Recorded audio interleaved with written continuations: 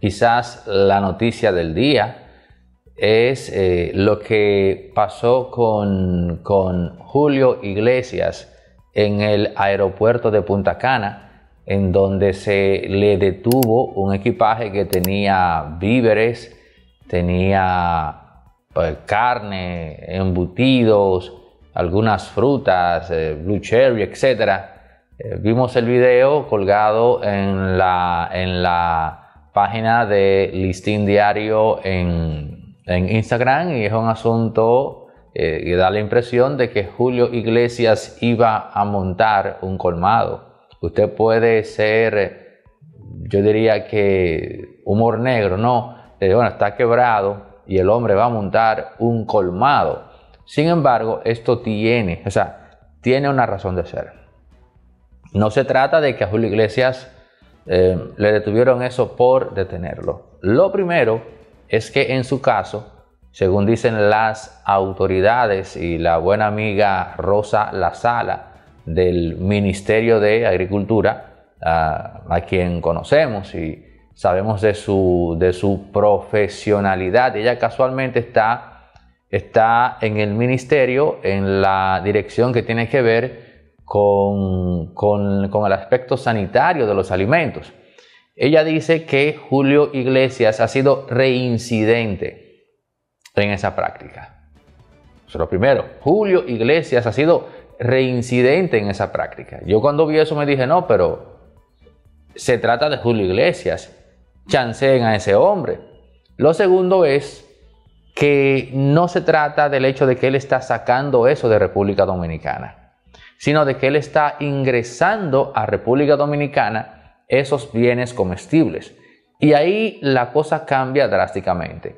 ¿Por qué? Bueno, pues porque República Dominicana tuvo una experiencia amarga con la mosca mediterránea que le valió que las exportaciones en bienes agrícolas fueran fueran detenidas o canceladas como importaciones en otros mercados extranjeros, lo cual golpeó al sector agroexportador del país. ¿Qué ocurre? Que cuando pasan estas cosas, al ministro de, Agricultura en cuestión le exigen cuentas. En este caso, Limber Cruz. Y ya los funcionarios de ese ministerio tenían una, una raya de que tienen que ser implacables con cualquier situación que exponga a República Dominicana a que la mosca del Mediterráneo vuelva a entrar a este país. Y eso incluye entonces detener en los aeropuertos equipajes en donde se registre bienes comestibles de otros países, en este caso el equipaje de Julio Iglesias. Por lo tanto, se trató de una situación de seguridad. Claro, a nadie se le va a ocurrir plantear o decir que Julio Iglesias está complotado con alguien fuera para introducir ese indeseable espécimen al país. Me refiero a la mosca del Mediterráneo. Pero a nivel de Estado fue esa la razón por la cual se le, se le detiene el equipaje y eh, el hecho de que es evidente que inicialmente se trató de ocultar la identidad de Julio Iglesias, pero eso al final, y en verdad no muy al final, es inevitable.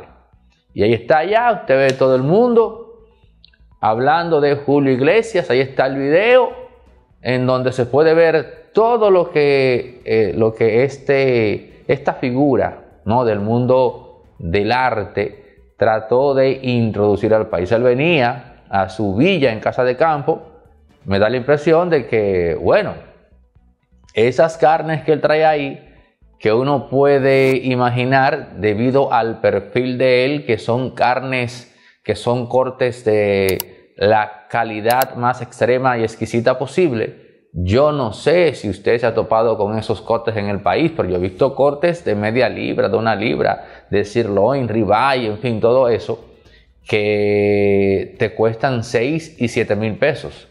Pero los hay más caros. En, Estados Unidos hay una marca que vende sus cortes de carne de res a 200 dólares. Estamos hablando de que 200 dólares son eh, un poco más de 10 mil pesos. y de repente tal vez eh, a Julio Iglesias, estoy conjeturando, le hace más sentido económicamente comprarlos allá y traerlos acá que comprarlos aquí o quizás aquí no están. En todo caso, eso no, no fue más de ahí. De cara a él no fue más de ahí. Pero, pero las autoridades dominicanas tienen ya por orden ese tipo de cosas, ponerle un stop por el asunto aquel de esa mosca. Y más un ministro que sabe que cuando eso se da, tiene la presión local del sector agroexportador, que no es poca cosa en este país.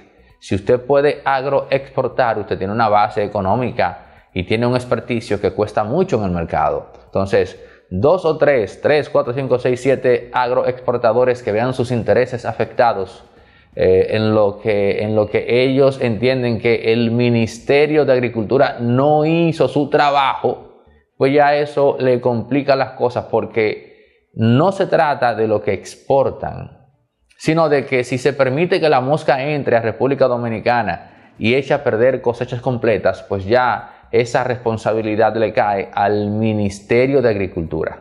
Es así como lo ven los agroexportadores. Digo esto para que usted pueda comprender por qué la radicalización del ministerio con este tipo de, equipajes, ¿no?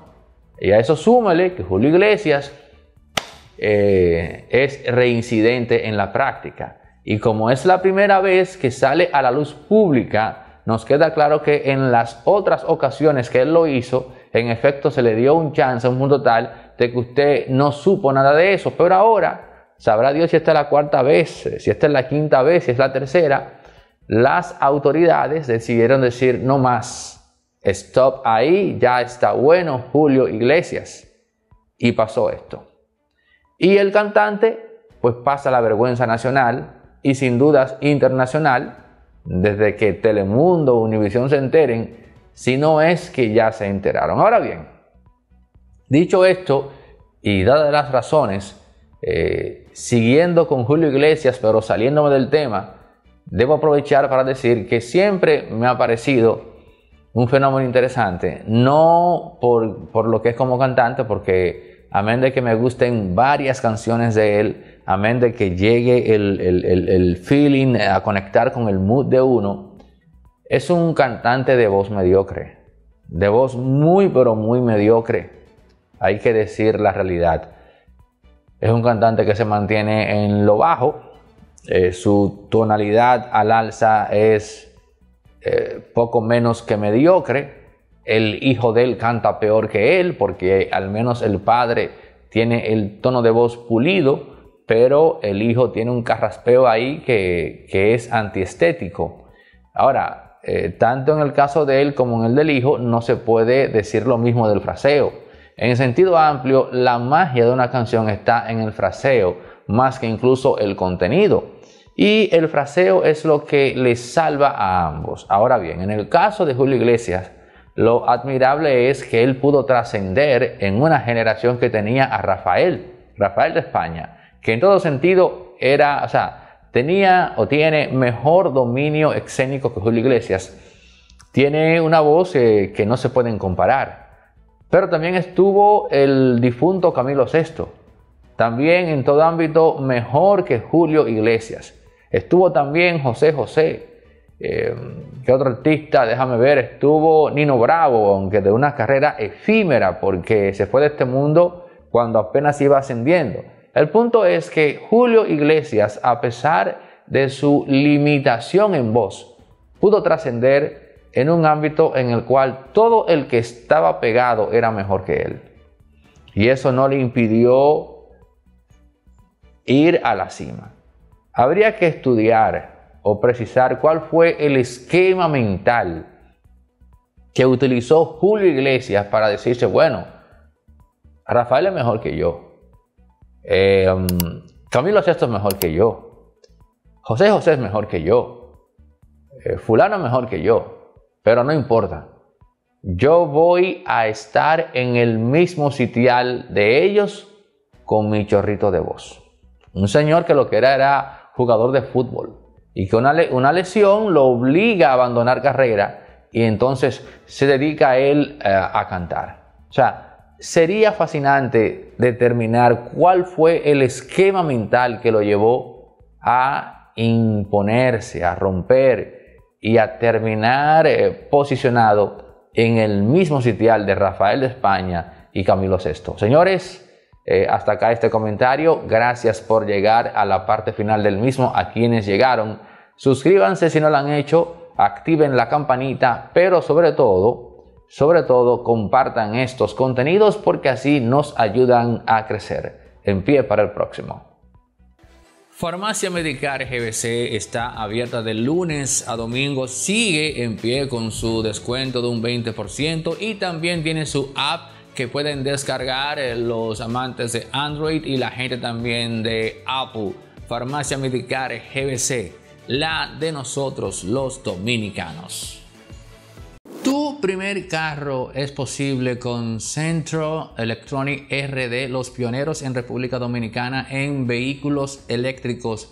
Desastre de el consumo en combustible fósil y lleva, oigan esto que voy a decir, un consumo promedio de 10 o 15 mil pesos te puede quedar en un mes entre 500 y 1000 pesos si tu vehículo es eléctrico. Pero también Centro Electronic RD tiene, eh, tiene una flotilla vasta, extensa de vehículos para fines corporativos y empresariales. Centro Electronic RD, tu primer vehículo eléctrico totalmente para que la factura del combustible no sea una carga. Y para las empresas, tenemos camiones, tenemos vehículos tipo deliveries, camionetas, en fin, para que también el costo en combustible en grado amplio no sea una carga. Centro Electronic RD, teléfonos en pantalla para más información. Si vas de parte de Impolíticamente Correcto, tienes un descuento de 500 dólares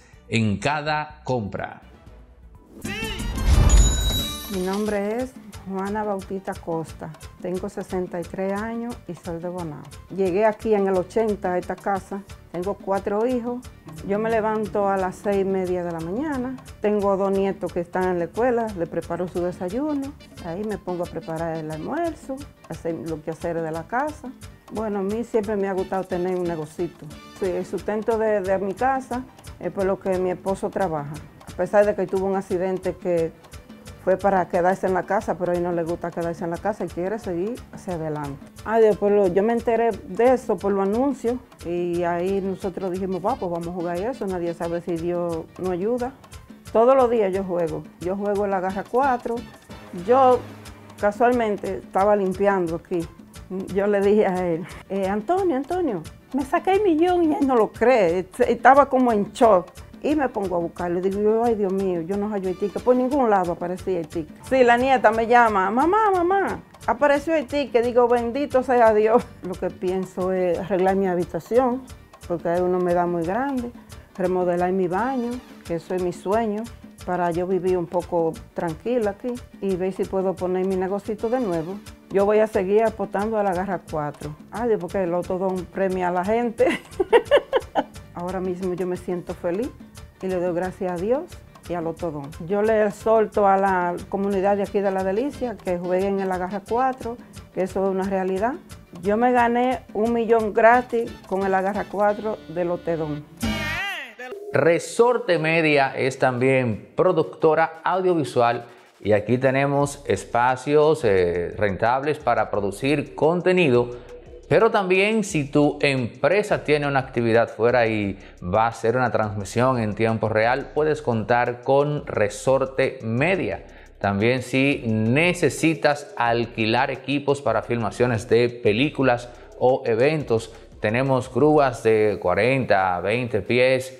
En fin, otra cosa, artista independiente que tiene que hacer un videoclip en calidad 8K 6K eh, con imágenes eh, de stock, bueno, pues lo podemos hacer acá en circuito cerrado con los presupuestos más competitivos. Pero si también eh, requieres asesoría para la producción de contenidos en plataformas como YouTube, también puedes contar con nosotros. Resorte Media, todo lo que necesitas en todos los ámbitos cuando se trata de producción audiovisual. 829-741-3061. Y otra exhortación muy importante que quiero hacerte, si tienes como meta de principio de año, pues montarte en tu primer carro o cambiar hacer un switch, bueno, pues mira, te hablo de Centro Electronic RD, marca líder en República Dominicana en la importación de vehículos eléctricos, eh, ya sea a nivel individual o para empresas con eh, vehículos medios eh, hasta camiones y también el Avantier que es un auto eléctrico de bajo costo y muy bajo consumo y si vas referido por impolíticamente correcto pues tienes un descuento de mil dólares en la compra de cualquier vehículo. A nivel empresarial puedes aprovechar esta oferta porque puedes comprar varios vehículos y aprovechar ese descuento de mil dólares. En el 829-741-361 te damos todos los detalles y te ponemos en contacto con Centro Electronic RD acá en el país.